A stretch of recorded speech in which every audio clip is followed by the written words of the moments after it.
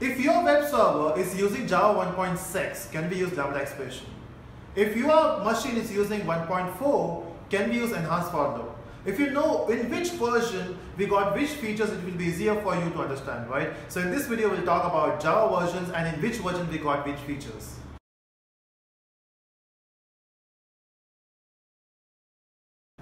So welcome back aliens, this is Navin Reddy from Telusko Learnings and in this video we'll talk about different Java versions. So in different Java versions, what features we got and we'll talk about that. In fact, if you are new to this channel, do subscribe so that we'll get all this type of videos in future. Now, you know, uh, we, we always think about this, you know, we have 1.8 version and we learn about 1.5, what, what difference it does because it, it's okay, right? Java is Java, it doesn't matter which version we, we work with. Uh, no, there, there are some things which changes, you know, with every version they get new updates and and if you're work, if you're learning some concept like if you're working with generics, and what if I say if you are if you have learned generics and if you are using Java 1.4, you cannot use generics. If you have learned lambda expression and, and by mistake if your server is working on 1.6, you cannot implement or you cannot use lambda expression in 1.6. So it's important for us to know in which version we got which features right? And there are certain versions which got major updates and there are some versions which got minor updates. You know, those are just updates. So uh, 1.8, 1.7, those are major updates. In fact, uh, it all started in 1991 when they felt, you know, we need a we, we need a we need a language which should be platform independent because we were having some good languages before that, right? We were having C++, we were having Smalltalk. I mean, those are awesome languages, right? But then the only problem was they were not platform independent. So they wanted something using which they can achieve platform independence. So though they went for Oak language. So when they released Java, the beta version of Java in 1994, they, they named it as Oak and every, everything was good. But in 1995, when they wanted to go for the public release, they thought, you know, we cannot go for Oak because Oak is not, we cannot register the language with Oak language. So they went with something called as Java, right? So in 1.0, we were having some updates which were awesome, you know, I mean, not not not those features which we use now, but it was it was having some lots of features. And then with every version, there were some classes which was introduced, and then the existing classes was also deprecated. Example, there are lots of classes now which we don't use because those are deprecated. Example, if you have ever learned swing, and in swing when you use some methods like uh, frame methods like show, hide, those methods now are deprecated, so we should not use that right? In fact, if you have learned about threads, in threads we have a concept of stopping the thread and we should not use stop method, that's why it is deprecated. So deprecated methods are available to use but we should not use that, right? So in every update we get these things. Now the current version of Java, which is we are living in 2017, right? So the current version of Java is Java 8. So everyone is using Java 8 now. But what if I say in July they are going for Java 9 and Java 9 is way different from Java 8.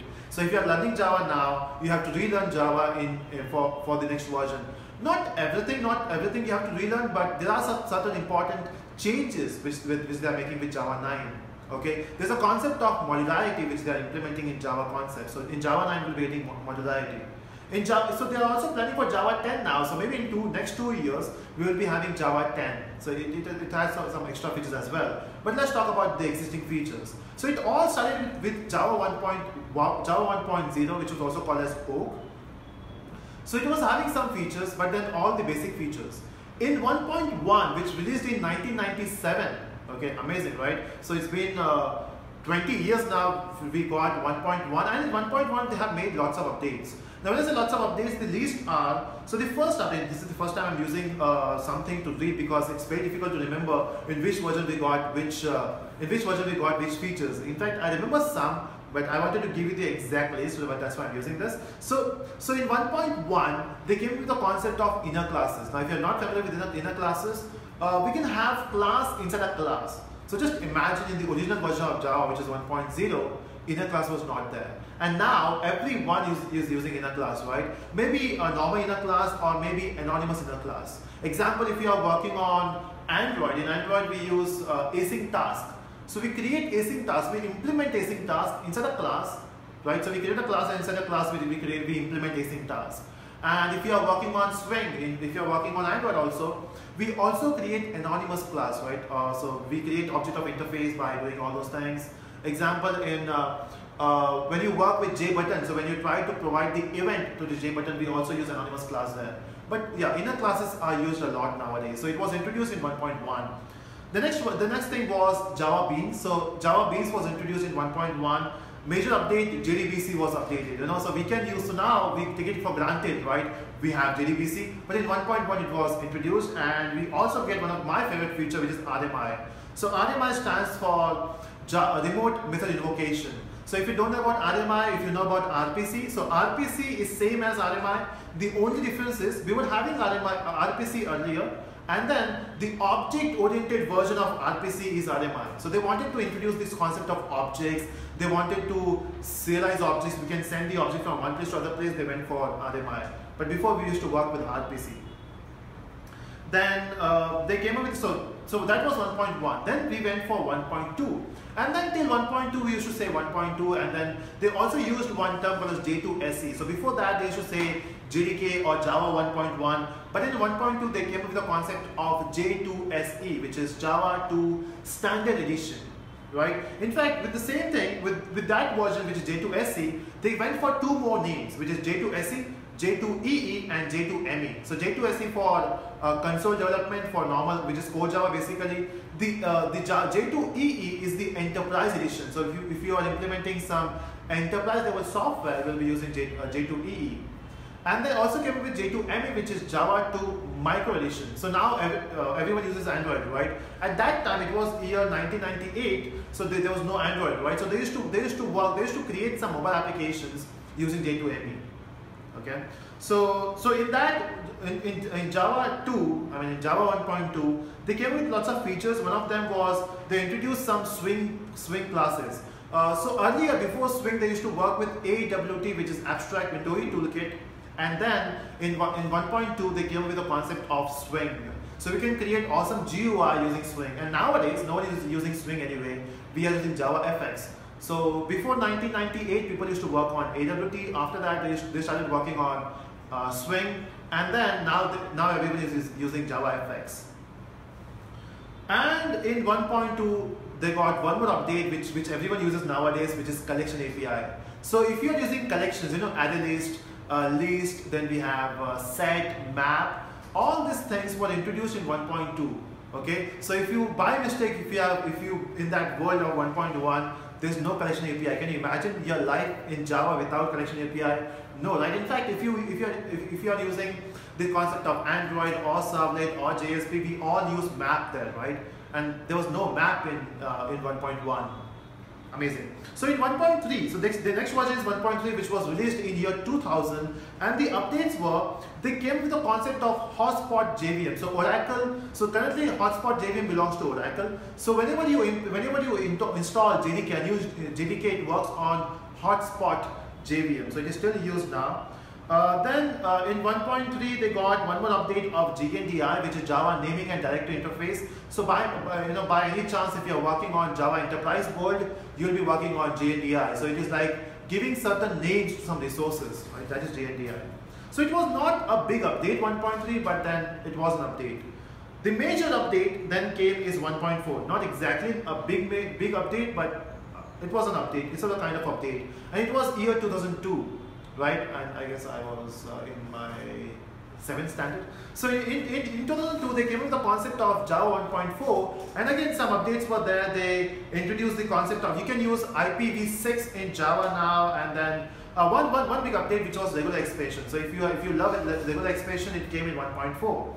Uh, the next next big uh, thing is assert keyword. Nothing much. I mean, this was 1.4. But then my favorite update is 1.5. Because in 1.5, I got something which I always wanted, which is generics. Now, generics provides something called type safety. Example, if you work with collection API, and if you in collection API, if you write something like this, when you say list obj equal to new array list, this list elements, I mean, this list can have any type of elements, right? It can have integers, it can have string. So there's no type safety, right? So we wanted to go for type safety, and that's why they went for generics. So generics was introduced in 1.5 and Java became more secure after that. So generics was the biggest update. The next one was auto boxing and uh, unboxing. So because of boxing auto boxing, generics was possible, right? And then the next update was varargs. So we in 1.5 they came up with the concept of where. Now what is varargs? So let's say if you are, so it looks something like this. If you want to pass multiple parameters, right? So if, if you create a method where you want to pass multiple parameters, not one, not two, not three, you're not sure in fact how many parameters you want to send. And at the receiving end, you want to accept all the parameters. Example, if you define a method with two, two parameters, you can pass only two parameters, right? But then if you want to pass multiple parameters, you can use varargs. So all those parameters will become one array. That's the, that's the advantage of using varargs. And there's nothing shame saying this. Varargs came from C sharp concept. So in fact, Java and C sharp they always copy each other. You know, so Java copies concept from C sharp and C sharp copies concept from Java. So this concept of varargs came from C sharp, and not just C sharp. Java tried to copy those concepts from all the different languages because uh, it's not just Java. Every language nowadays is copying concepts from other languages so that they can call themselves a perfect language. But none of them are perfect language now anyway. Uh, then the next update was for each loop, which is enhanced for loop. And example, if you have an array of 50 elements, and if you want to print all the elements, you have to use a loop, right? And the loop, loop starts from zero. Again, that's that's one big headache, right? You have to remember this. Array always starts with index number zero. So you don't have to remember that if in, in case of enhanced for loop. You just have to define enhanced for loop like this, and you're you're done with that, right? So, and then the next one was static imports. In fact, 1.5 was a bigger, bigger, biggest update, I guess. They, they came up with a generic concept, then varargs, and then the static imports. Example, if you if you ever work with a system.out.println, you know, it's such a big statement. What you can do is you can import out object using static imports, something like this. So that's that's one that's one advantage you got in 1.5. In fact, in 1.5 they made one more update. Instead of saying 1.5, they, they went for 5.0 because it was a major update, right? So 1.2 was 1.2, 1.3, 1.4, but then it is not 1.5, it is 5.0. Okay, so that was JDK 5. In fact, in every in every Java version, let it be 4, 5, 6, they also have some mini versions. You know, uh, Java version 5 will get one more update, which is one point. I mean underscore. If you if you download JDK from internet, you will understand this. So JDK 1.6 underscore some U and then number. So that's an update. So, that, so that, those those are minor uh, minor updates like bug fix or security update, something like that. Okay. Then they came up with the concept of Java 6. So that it was Java SE 6 and in this they have removed. So before that we used to say Java uh, J2 SE, right? So 1.5 was J2 SE 5. 1.4 was J2 SE 1.4. In Java 6, they removed that 2 and now it is Java SE. So till now, if you are using Java, it is Java SE. You are no longer learning Java 2 SE. It is just Java SE. Again, some name changes, that's it. Uh, then we got some updates. We got update for JDBC 4. Not major updates. All the updates in Java 1.6 were minor updates, not nothing big. But then, but then one version came which is 1.7 in fact uh, most of you i'm sure will be working on 1.7 now. Maybe if you're working for a company those servers are deployed on 1.7 uh, if you're using android maybe also you're also using 1.7 there so 1.7 is used a lot nowadays. Uh, it was introduced in 2011 and it was having lots of updates. The first one which is uh, you know when you use switch you know when you use switch statement in java so in switch, we can it supports integer, right? But in 1.6 or 1.7, they have introduced a concept of using strings in, in switch statement. That means you can pass uh, you can pass string, right? It, it also does string matching now.